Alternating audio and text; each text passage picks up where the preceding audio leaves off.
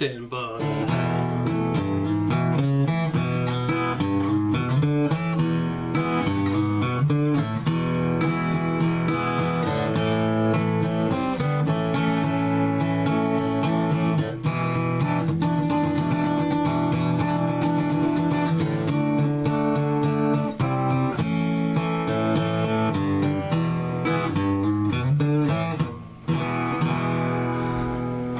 Hey, how are you guys? Uh, back to do a lesson for uh, Jimi Hendrix's Hound Dog.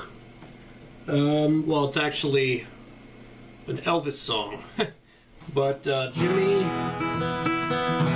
Well, the only known version that. Uh, well, the, only one that I know about is uh, there's a video on YouTube where it looks like he's um, at a party and he's playing an acoustic and um, can't really see what he's doing on the guitar because it's too dark, like in the video. But it's in standard tuning, and uh, it's just like um, pretty simple blues blues song.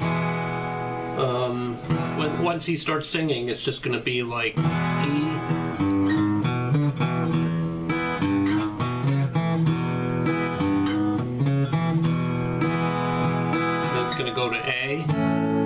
not doing too much uh, riffing on the A part. Then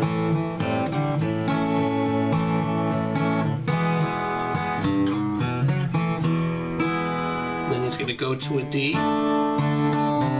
And uh, you can either play it this way, and with your second finger come over to the third of the A, bend that, and play an A, or you could do, you know, like a D to C to A, and then back into the E.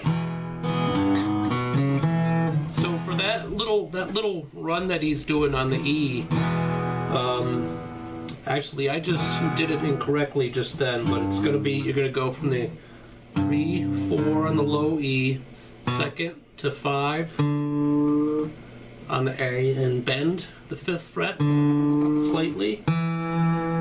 So.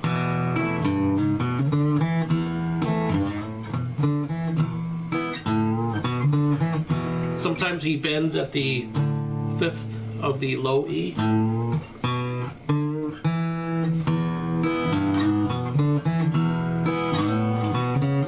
He's going back and forth between that and the. Sometimes he'll just bar his um, pinky at the third of the B in high E.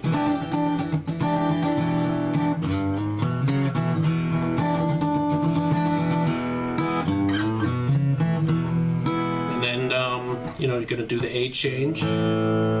One thing that he does on the A that I kind of heard, uh, you're going to do like a quick um, bar, like at the fifth fret, and lift up, lift to the open strings, and then hammer on at the A.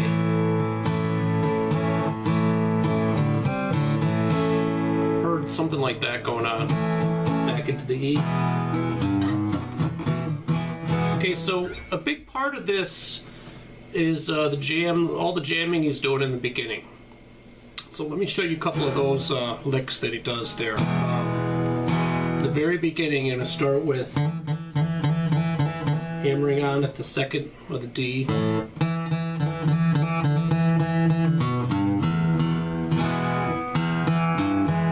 this is a little lick that he does. Um, you're going to go from the low E to the D, and then bend the third fret of the low E, hit the D string again. So he's going to be going from this lick to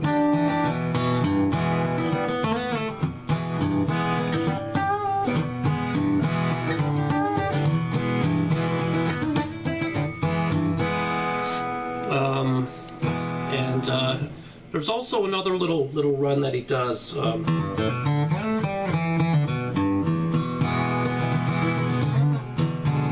sometimes he'll slide that E uh, E7 down to the fourth and back.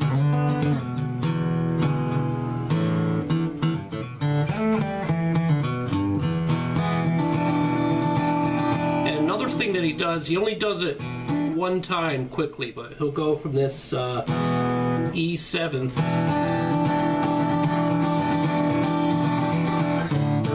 to D, D to A with the B and the high E strings open. I, I heard him do that once very clearly.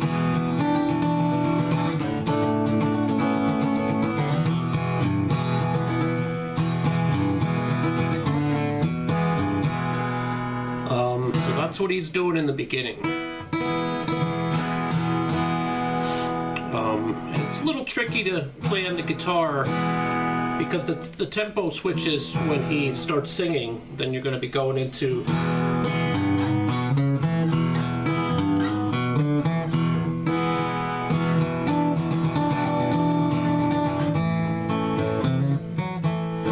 But anyway, I just wanted to go over, you know, a couple of couple of the changes in that, and uh, give you some things to get you started.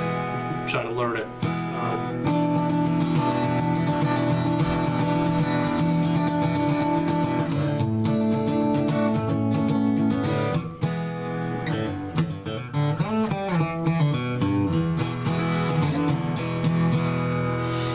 okay. Um, have a good one.